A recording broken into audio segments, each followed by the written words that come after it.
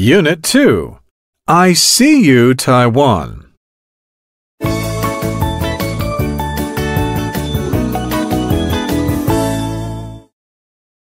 Reading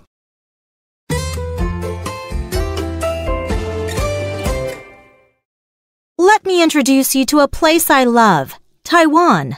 When I lived in Georgia, I noticed Taiwan is listed among the top 10 countries in the world to visit. After seven years of living in Taiwan, I totally agree with that. I am in love with its natural scenery, delicious foods, free society, and good quality of life. Natural beauty and delicious foods are the soul of Taiwan. Though Taiwan is a small island, it has a wide variety of mountain and ocean views. In Taroko Gorge, I could hear the Liwu River flowing while I enjoyed the sight of marble cliffs all around me. Donggang is another place that shouldn't be missed.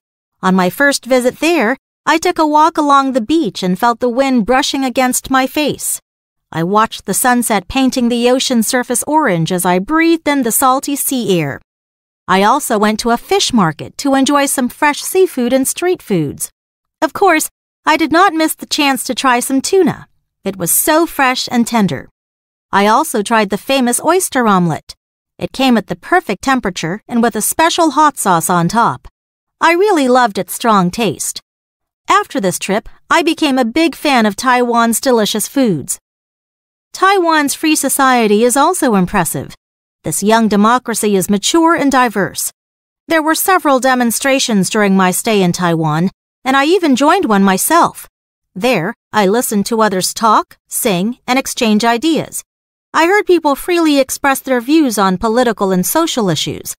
From this experience, I learned that Taiwanese people may not always see things the same way, but differences are respected. Finally, I am impressed by the good quality of life in Taiwan.